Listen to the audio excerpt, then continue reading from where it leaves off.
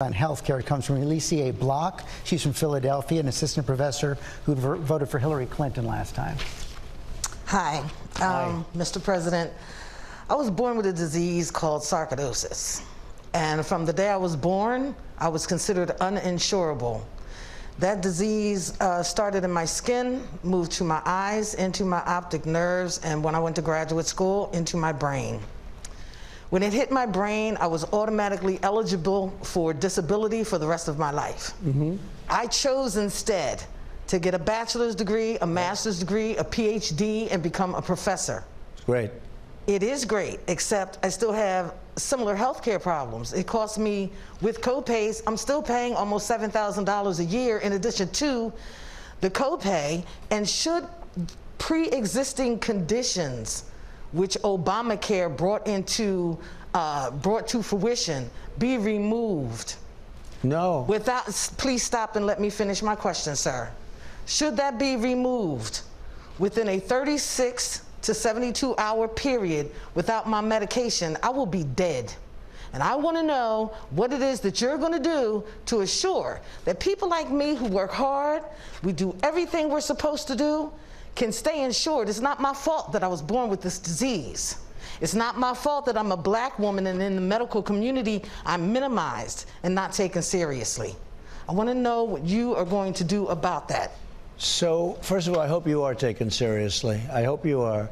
And we are not going to hurt anything having to do with pre existing conditions. We're not going to hurt pre existing conditions. And in fact, just the opposite if you look at what they want to do, where they have socialized medicine, they will get rid of, of uh, pre existing conditions. If they go into Medicare for All, which is socialized medicine, and you can forget about your doctors and your plans, just like you could forget under President Obama. He said you can have your doctor, you can have your plan, and that turned out to be a lie. And he said it 28 different times, at least. We have 28 different times. You can have your doctor, you can have your plan. Well, it's not true. But what we're doing is we're going to be doing a health care plan, pre-existing, protecting people with pre-existing conditions. As an example, yourself, it sounds like that's exactly perfect. That's exactly what we're talking about. We're going to be doing a health care plan very strongly and protect people with pre-existing conditions. I will say this: they will not do that Mr. because President, they have, I, I socialized. I have George, to stop they you have there. socialized. I, I, just have to stop you there because just on a couple of points. Number one, Joe Biden has ran against Medicare for all in the primaries, but much more importantly, Obamacare guaranteed people with pre-existing conditions could buy insurance. Guaranteed they could buy it at the same price as everyone else. Guaranteed a package of essential benefits.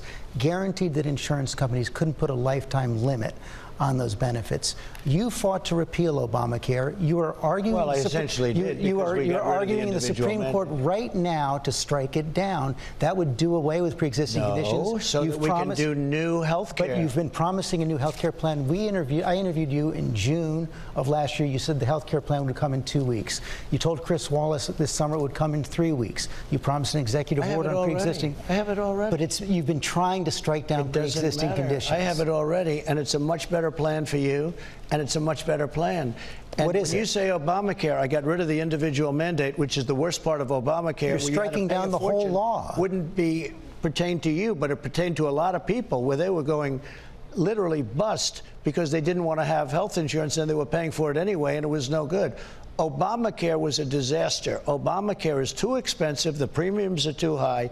It's a total disaster. You're going to have new health care and the pre-existing condition aspect of it will always be in my plan, and I've said that loud and clear. But you haven't true. come up with it. And we got rid of the individual mandate, which essentially ended Obamacare. And I had a decision. Only because you're arguing George, for it. I had a decision to make.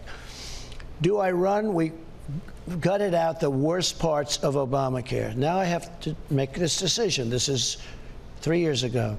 Do we run Obamacare well? And do a good job and do the best, even though it's never going to be very good? Or do we let it run badly? Probably letting it run badly would have been a better political decision, but I couldn't do that. We have run it so much better than Obama ran it.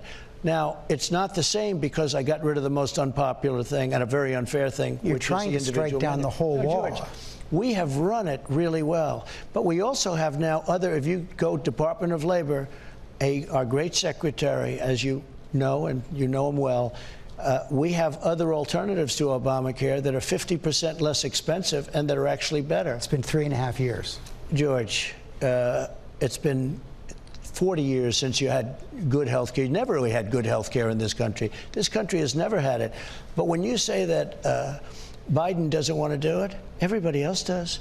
Bernie does. He agreed to the manifesto, as I call it. The agreement with Bernie is that you're going to go to socialized medicine. He ran against If you go to socialized medicine, well, they, he agreed. And Harris, who he today said Harris Biden because he thinks she's president, Harris, and someday you'll have to explain that one to me, but Harris is all for doing that. She wants to go to socialized medicine. So you no longer have your doctor really, and you no longer have your plan. And Joe can say all he wants. He's only doing it because he sees his poll numbers going down so substantially. But Joe can say all he wants about health care. Uh, you know, Obamacare has been a failure from day one. It's too expensive, whether it's the premium or whether it's the cost generally. And they don't have their doctors and they don't have their plans. We're going to have a very good health care. I think maybe a great health care for less money. Hi, everyone. George Stephanopoulos here. Thanks for checking out the ABC News YouTube channel. If you'd like to get more videos, show highlights, and watch live event coverage, click on the right over here to subscribe to our channel. And don't forget to download the ABC News app for breaking news alerts. Thanks for watching.